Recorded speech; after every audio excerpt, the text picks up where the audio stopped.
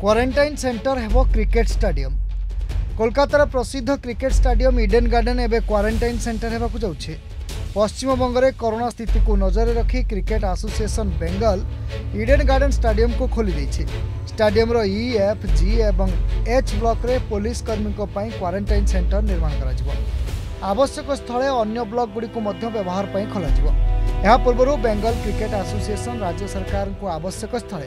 Eden garden ଖୋଲିବାକୁ କହିଥିଲେ କିନ୍ତୁ ଏବେ କୋଲକାତା ପୋଲିସ ଏଠାରେ ଅସ୍ଥାୟୀ କ୍ୱାରେଣ୍ଟାଇନ୍ ସେଣ୍ଟର ଖୋଲିବାକୁ ଅନୁମତି ମାଗିଛି ଯାହାକୁ ଆସୋସିଏସନର ଅଧ୍ୟକ୍ଷ ଅଭିଷେକ ଡାଲମିଆ ସ୍ୱାଗତ କରିଛନ୍ତି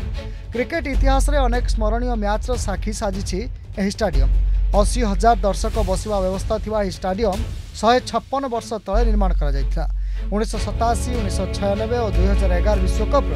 ଅନେକ ମ୍ୟାଚ୍ ଏହି ଷ୍ଟାଡିୟମରେ ଖେଳାଯାଇଥିଲା ହେଲେ କରୋନା ପାଇଁ କ୍ରିକେଟ୍ ବନ୍ଦ ହୋଇଛି ଏଣୁ ଏହି ଷ୍ଟାଡିୟମକୁ କ୍ୱାରେଣ୍ଟାଇନ୍ ସେଣ୍ଟରରେ ପରିଣତ କରାଯାଉଛି bureau report the Argus dot in